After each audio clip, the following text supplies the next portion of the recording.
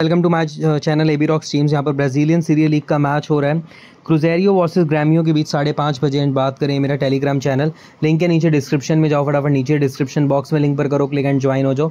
और गाइज़ हम इस वीडियो में किसी भी तरह की चीज़ को प्रोत्साहित नहीं कर रहे वीडियो बहुत ही ज़्यादा सेफ़ एंड नॉलेजेबल है। सो आगे बढ़ते हैं तो बात करें इस मैच की। दिन क्रुजेरियो और ग्रामियो में दोनों टीमें अच्छी हैं यार। मतलब क्रुजेरियो टीम रैंकिंग में यार ग्रामियो से बहुत हद तक लीड पे है भाई। यहाँ पर दो इंटू का फ़र्क आ रहा है यहाँ पे।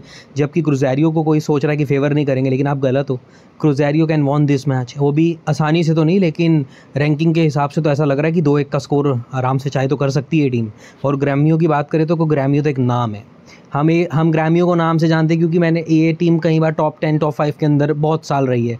हर सीज़न ही इनका होता है मतलब ऐसा कहूँगा मैं। लेकिन एंड में आके थोड़ा पीछे हो जाते हैं, लेकिन इस बार क्या होगा कि शुरू में ही थोड़ा पीछे है। अब आगे जाके देखते हैं, शायद आगे बढ़ें, ठीक है, क्योंकि ये दोनों एक ऐसी टीम है जो लीड कर सकती है, मुझे ऐसा लग रहा है। मतलब ये अभी अभी दोनों नीचे हैं, लेकिन दे कैन डू वेल और क्रुजैरी तो टॉप टेन में भी है तो आगे चलते हैं।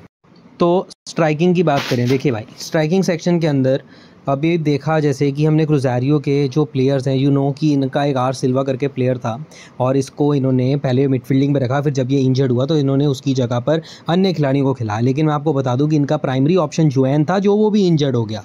तो अब ये डियास को भेज रहे हैं। डियास कभी भी आपको गेम में दिख सकता है, लेकिन मेरी नज़र जॉर्ज पे है। मैं अभी भी चाहता हूँ कि जॉर्ज खेले। के जॉर्ज के खेलने पे बहुत कुछ डिपेंड है। जॉर्ज खेलेगा तो ये लीग ये टीम और आगे जाएगी लीग में, क्योंकि मेरे को वैरन पे एक्सपेक्टेशन नहीं है। मुझे डियास पे तो एक भी पैसे की एक्सपेक्टेशन नहीं है। बस मुझे इनकी टीम में डिनैनो अच्छा लगता है, जो इंजर्ड है, और डिनैनो नहीं खेल रहा तो मुझे उसकी जगह पर लेना पड़ रहा है जॉर्ज। बस इतना सा फ़र्क है। उसके बाद अपोजिशन टीम की बात करें दैन ब्रैथवेट ब्रैथवेट के साथ ज़रूर जाऊँगा। Martin Braithwaite is a great player जिसने बार्सिलोना में अपना बहुत वक्त निकाला है। ग्यारह अगस्त के बाद ऐसा नहीं कि इस बंदे ने मैच नहीं खेला, इसने ग्यारह अगस्त के बाद बहुत मैच खेले हैं। अगर मैं आपको, चलो, मैं आपसे पुरानी बात नहीं करता, मैं आपसे बात करता हूँ इसी महीने की।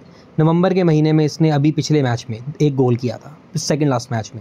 अब बोलो, क्योंकि ये बंदा पीछे नहीं हट रहा पर मंथ की अगर गोल देखें इसका तो पर मंथ अगर ये प्लेयर पाँच छः मैच खेलता है, अगर अगर, मान लीजिए पाँच मैच अगर ये खेल रहा है पाँच या छः तो उस बीच में इसके चार गोल आ सकते हैं। मतलब ब्रैथवेट में इतना दम है।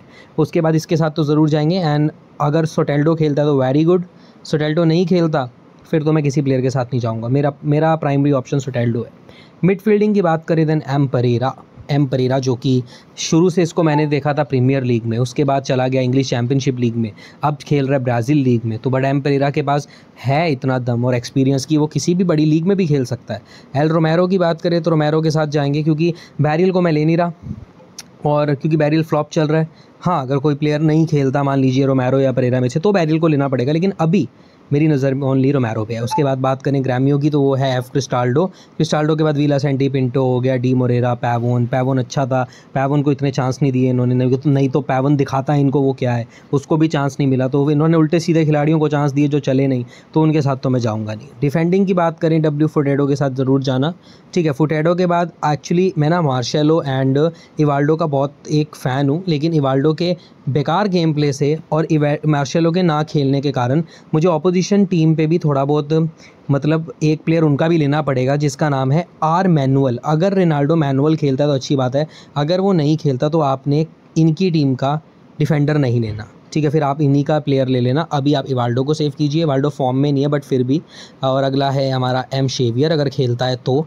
ठीक है शेवियर के बाद अभी हम प्लेयर ले नहीं सकते, क्योंकि हमने मैनुअल को लिया अगर मैनुअल ना खेले तो इसको निकाल कर सी आर यू टीम का फोर्थ डिफेंडर उठा लेना। आपने नाम नहीं, आपने काम देखना है। और गोल कीपिंग की बात करें तो ए मर्चेसिन के साथ जा रहा हूँ, क्योंकि शॉर्ट ऑन टारगेट अगर देखा जाए तो क्रूज सी आर यू के ज़्यादा हैं।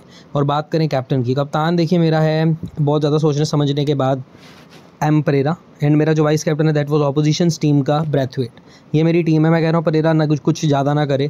एक आध गोल जॉर्ज कर जाए, इसकी एक असिस्ट भी आ जाए तो चलेगा मेरे लिए, मेरे को लालच नहीं है। मुझे असली लालच ये है कि सिर्फ़ एक गोल ग्रैमियो कर जाए। दो गोल क्रूज एज एजल सॉरी दो गोल अगर सी आर यू भी कर जाती है, तब भी जी आर एम का अगर एक गोल भी आ जाता है तो बस किसी तरह यहाँ पर क्लीन शीट नहीं लगे, मैं ये चाहता हूँ। तो मिलते हैं नेक्स्ट वीडियो में बाय